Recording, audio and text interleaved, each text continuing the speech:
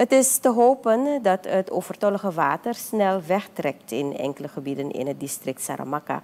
Dit stelt districtscommissaris Sherin Bansi Durga in een gesprek met de nieuwsdienst.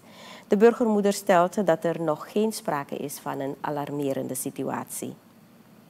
Ja, sinds uh, gisteren is er dan uh, um, springvloed en daardoor heel hoge waterstanden in de rivier.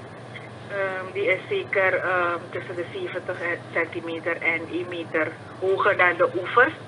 Dus het gaat over haar oevers de rivieren. Daardoor komen gebieden die langs um, de rivieren liggen, dan onder water te lopen. Ja.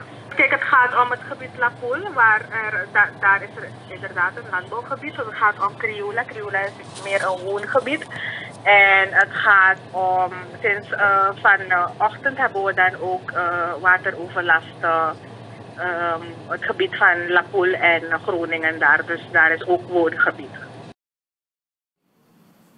Bansi Durga zegt verder dat de wateroverlast van vorig jaar, vorig jaar veel erger was. Ze stelt dat het verschil is dat het probleem met overtollig water vorig jaar tijdens de regenperiode heerste, terwijl Suriname nu niet in de regentijd zit. Ze concludeert dat het water dat zich nu in Saramaka verplaatst vanuit het zuiden komt, waar er sinds vorige week wateroverlast heerst. Het NCCR is op de hoogte gesteld, dus uh, we zijn constant in contact. Maar net wat ik zei, het is nog niet uh, van die aard dat NCCR moet inkomen.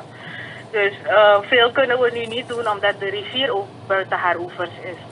En we moeten dan kijken als het water terugtrekt, waar de dammen nog laag zijn, de communicatiedammen, waardoor treinen beschermd uh, worden.